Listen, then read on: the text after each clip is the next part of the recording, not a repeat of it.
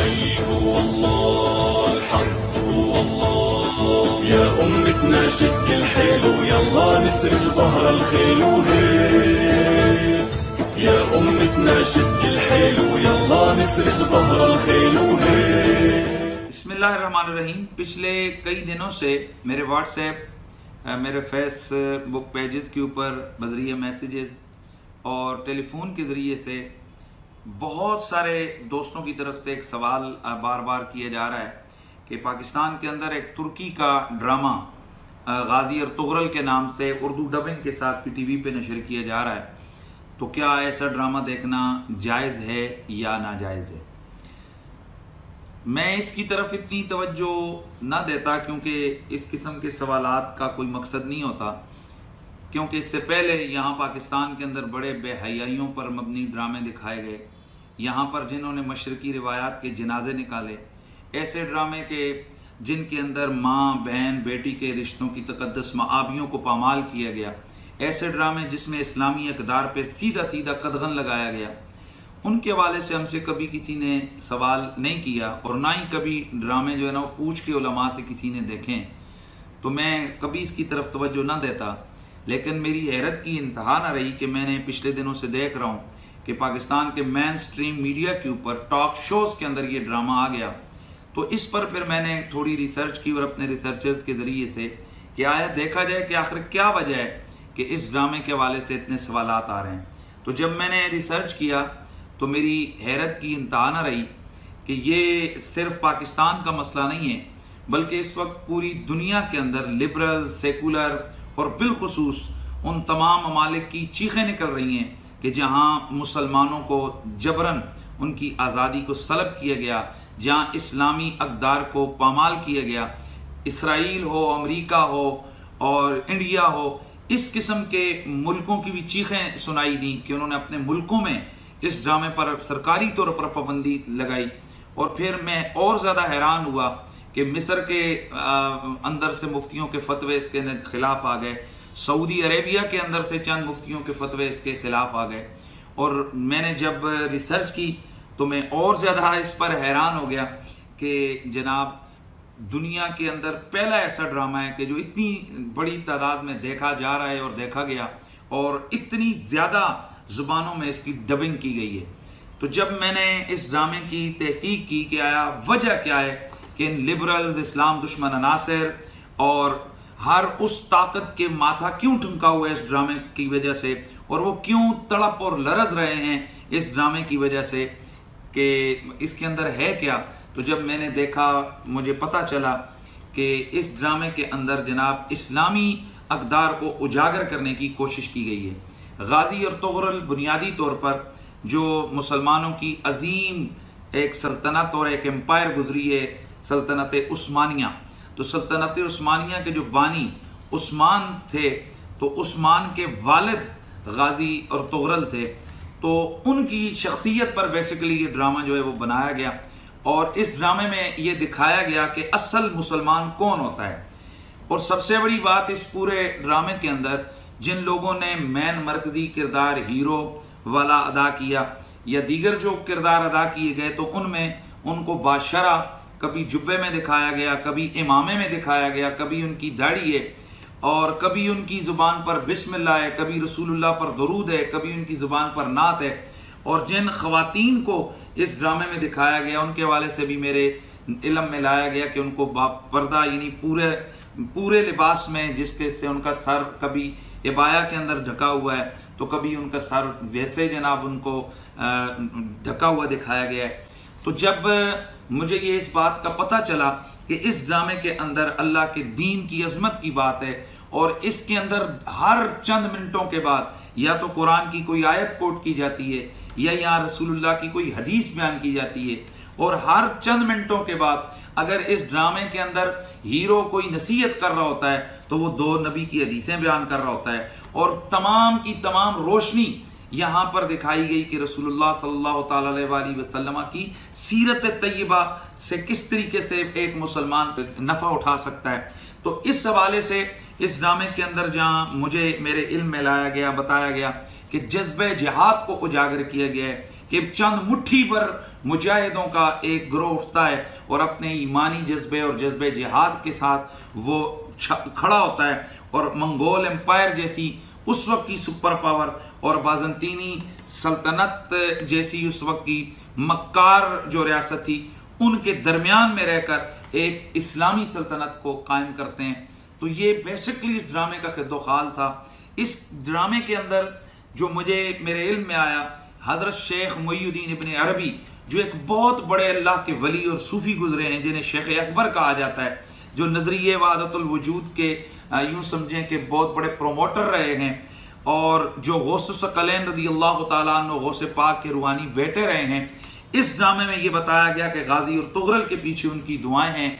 जहाँ भी वो गाजी और तुगरल के किसी मुश्किल में फंसते हैं तो उस मुश्किल से निकालने के लिए वहाँ मोयुद्दीन इबन अरबी खड़े होते हैं। उनकी रूहानी बालीदगी के लिए उनकी दुआएँ हैं, उनके अजकार हैं, उनकी हक हू की सदाएँ हैं और उसके साथ साथ उसकी जो रूहानी तरबियत हैं, वो मयुद्दीन इबन अरबी और उनकी करामतें, वो एक बहुत बड़ी मुसलमान एम्पायर के पीछे जो उसके बानी उन लोगों के पीछे खड़ी हैं। इस ड्रामे में ये भी दिखाया गया कि जहाँ जिस वक्त कोई मुजाहिद परेशान होता है तो बजाय पाकिस्तानी और इंडियन ड्रामों की उन बेहयाइयों के सीनों के वहाँ वो अपने साथी बैठ कर कहते हैं, क्या पता किस वक्त फरिश्ते जलाए आओ सैयद आलम की नात पढ़ते हैं। जहाँ उनकी शादी की तकारीब होती हैं तो उसमें बजाय नीम बरन औरतों के रक्स के, वहाँ मुजाहिद तलवारों और नेज़ों के साथ रक्स करते हैं। पाकिस्तान के मेन स्ट्रीम मीडिया के ऊपर ऐसे ऐसे ड्रामे दिखाए गए कि बाज़ाहिर जिनको एक आर्मी के हवाले से लोगों की मोहब्बत दिखाई गई, लेकिन उसी में उलमा की किरदार कुशी भी की दिखाई गई।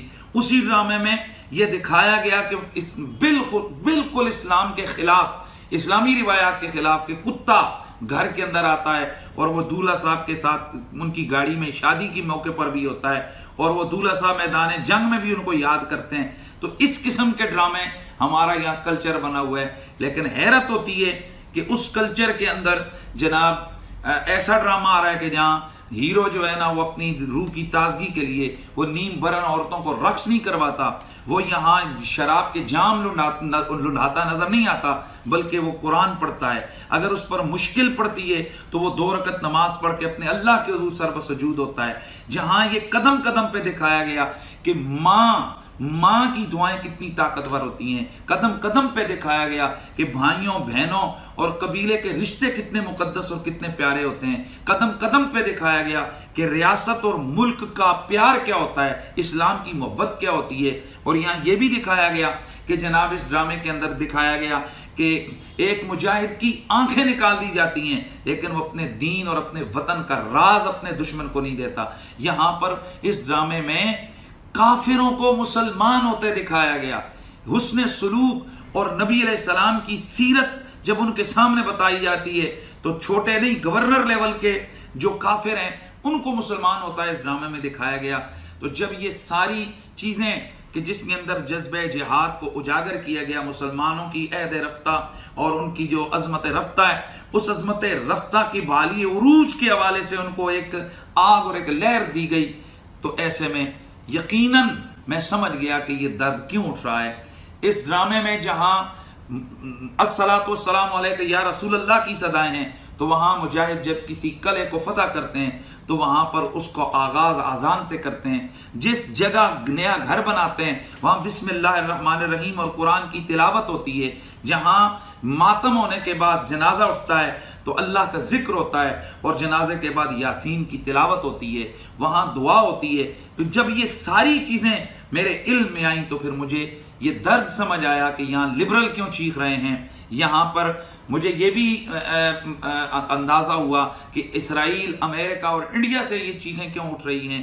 तो जनाब वाला, आखिर क्या है ये मैं पाकिस्तान के ड्रामा बनाने वाले जो लोग हैं, मैं उनसे पूछना चाहता हूँ, जो ड्रामा लिखने वाले लोग हैं, मैं उनसे पूछना चाहता हूँ कि ज़रा गौर तो करो कि मुझे जो बताया गया है उसके मुताबिक ना तो यहाँ पर इस ड्रामे के अंदर गाड़ियाँ हैं और ना इसके अंदर जहाज़ हैं और ना इसके अंदर कोई लगरी लगरी महल हैं, बल्कि इस ड्रामे के अंदर शुरू से आखिर तक जनाब वो कपड़े के बने हुए खेमे, खेमों से शुरू होता है और खेमों पे ख़त्म होता है। तो यहाँ वजह क्या है कि इसने पूरी दुनिया के मुसलमानों को अपने शहर में क्यों जकड़ा है? तो ए ड्रामा राइटर्स, ए मीडिया के लोगों, यहीं से समझ लो कि पाकिस्तानी कौम, बल्कि पूरी दुनिया के अंदर जो उम्मत मुस्लिमा है इस वक्त उनकी नबज किस चीज़ पर धड़क रही है? वो अपने अल्लाह और उसके रसूल का नाम सुनना चाहते हैं। वो इस्लाम की इकदार आली को देखना चाहते हैं। वो अपनी अजमत रफ्ता की एक दफ़ा फिर झलक देखना चाहते हैं। इसलिए बता दिया इस ड्रामे ने कि जहाँ भी इस्लाम की बात होगी, मुसलमान उसको हाथों हाथ लेंगे। तो पाकिस्तान में भी आज मुझे ये भी बताया गया कि कई लोगों को अपनी मशरकी रिवायात याद आ गई। मैं उनसे पूछता हूँ कि जब यहाँ पर यहाँ पर इश्क ममनू जैसी तुर्की की सीरियल चली थी कि जिसके अंदर बेहयाई को प्रमोट किया गया था तो उस वक्त आपकी गैरत कहाँ थी? मशरकी रिवायात क्यों नहीं याद आई? यहाँ इंडिया के हया से खाली ड्रामे जहाँ निकलते हैं तो हिंदू के आगे घंटी बजाकर और जहाँ अंदर जाते हैं तो हिंदू के आगे घंटी बजाकर, बच्चा अगर सफ़र पे जाता है तो वो पूजा करते दिखाई देते हैं। और बच्चा अगर जनाब मैट्रिक पास करता है तो वहाँ पर जनाब वो अपने भगवान के आगे झुकते नज़र आते हैं। जहाँ हिंदुइज्म को, शिरक को प्रमोट किया गया उन ड्रामों पे तो आपकी चीखें नहीं निकली, जहाँ बुनियादी बहन भाइयों के रिश्तों को दागदार किया गया, जहाँ मुनाफ्त सिखाई गई। बताया गया कि औरत किस तरह के चक्कर करके खानदानों को दबा करती है, वहाँ तो आपकी चीखें नहीं निकली। और जहाँ ऐसा ड्रामा दिखाया गया कि एक औरत अपने शोहर के साथ मोहब्बत करती है, अपना घर बचाने के लिए कितनी मुश्किलें उठाती है, अपना खानदान बचाने के लिए और अपने मुल्क और कौम के लिए अपने बच्चे तक कुर्बान कर देती है तो ऐसे ड्रामे के ऊपर आकर ये चीखो पुकार क्यों है? तो जनाबे वाला, बाकी ड्रामों पर जब आप लोग उलमा से फतवे लेकर ड्रामे नहीं देखते हैं तो फिर इस ड्रामे के हवाले से ये फतवे क्यों? और जहाँ सऊदिया और दीगर मुल्कों के अंदर मौलवियों के दिए हुए फतवे ज़ाहिर है, वो तो उनके बादशाहों के पाबंद है उनको फतवे देने के। वो जहाँ बादशाहों की बातें ही, उनकी रियासत की बातें ही उनके फतवे बन जाते हैं। तो जनाब असल दर्द हमें समझ आया कि असल दर्द उन मौलवियों का, मयुद्दीन इबन अरबी है, या फिर यहाँ इसके अंदर उठने वाली ये सलातम या रसुल्ला की सदाएँ हैं, रसूलुल्लाह का प्यार है, और वो अंदाज मोहब्बत है कि जब भी कोई मुसलमान नबी सलाम का नाम लेता है तो उसका हाथ अदब से सीने पर और उसका सर झुका हुआ होता है। और इस मुझे जो समझ आई है, इसलिए इस पर चीखें उठ रही हैं कि इस ड्रामे के अंदर उलमा की इज़्ज़त को उजागर किया गया है। हर उस हाथ को जो उलमा की शयान की तरफ़ बढ़ता है, उसको काटते हुए दिखाया गया है। शायद इसलिए पाकिस्तान के लिबरलों, सेकुलरों और इस्लाम दुश्मनों को इस ड्रामे से तकलीफ़ है। तो जनाब, आपने दीगर ड्रामे जब उलमा से फतवे लेकर नहीं देखे या तो इस ड्रामे के हवाले से भी ये फतवे बाजियाँ ये अच्छा और मुनासिब अमल नहीं है। बहरहाल हर वो ड्रामा और हर वो वीडियो और हर वो चीज़ जिसमें गैर शर्य इस्लामी अकदार के ख़िलाफ़ चीज़ें और बेहयाई की चीज़ें दिखाई जाएँ, ज़ाहिर है वो शरी तौर पर नाजायज़ है। और अगर नात रसूलुल्लाह की अजमत, जज्ब जहाद के हवाले से अगर कोई चीज़ें ऐसी हैं, कोई ड्रामा, कोई चीज़ ऐसी है, कोई वीडियो ऐसी है कि जो जज्ब जहाद या रसूलुल्लाह की इज़्ज़त और अजमत मुसलमानों के अंदर एक जज्ब जहाद की रूह को फूंकने वाली है तो उसके अदम जवाज़ पर फतवा देने की कोई सूरत नहीं है। वालकम